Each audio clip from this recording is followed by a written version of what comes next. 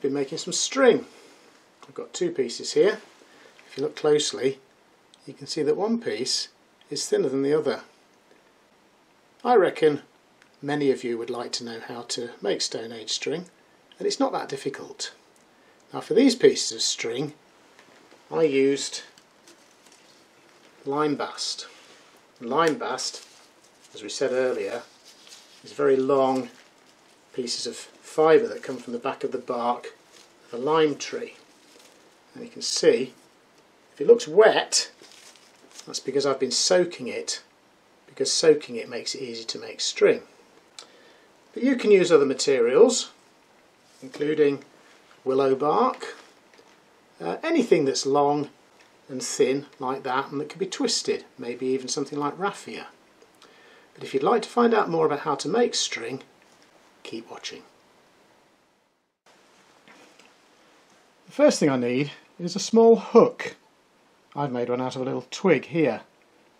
And what I'm going to do is going to hook my string making material over the hook, like that, and hold two equal lengths, just like that, both the same length, and I hold one tight in one hand and start twisting the other with both hands. It's quicker if you use both hands to twist it.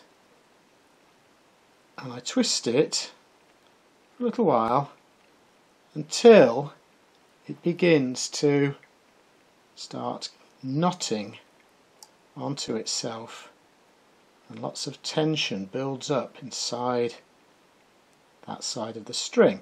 And then at that point when I think it's right I'll just loop it round my finger like that to hold it tight switch hands and start twisting the other piece as well. But the important thing is that I twist the other piece in the same direction as the first piece. I must twist it in the same direction the same way.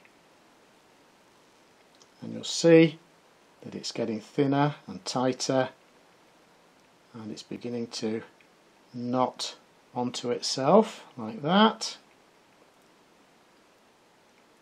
And then when they're both as tight as each other carefully without letting it go I just pull the two lengths equal like that, hold them together in one hand and then just flip the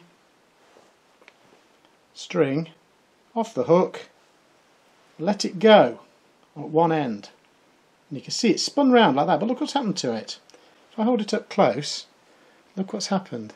It's spun round onto itself like that and it's twisted itself already and you can help it along by just keep twisting it like that and then you have a piece of Stone Age string.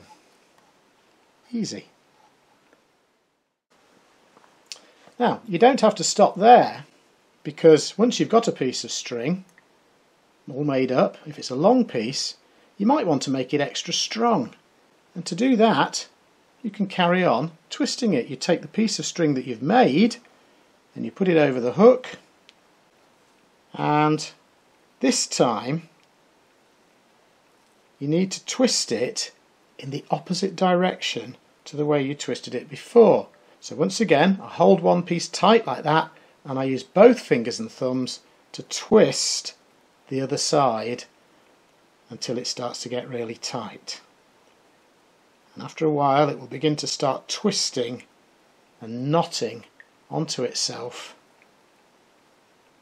And if you've wet the string beforehand you can see the water being squeezed out of the string as it gets tighter and tighter and tighter. As it begins to go all sort of twisted, stop, loop that one around your finger and hold it tight, and then turn to the other one and remember to twist it in the same direction as the first piece. Same direction twisting with both fingers and thumbs because that makes it quicker. Then after a little while once it begins to get tight and it begins to start twisting onto itself it's no longer straight, carefully get the two pieces together like that, flip it off the hook and let it twist onto itself like that. And then just keep twisting it to finish it off. And there you have a double strength piece of Stone Age string.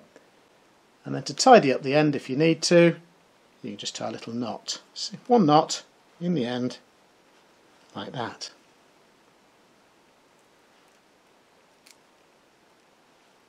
And that will stop the end from coming loose again. There you have a double-sized piece of Stone Age string.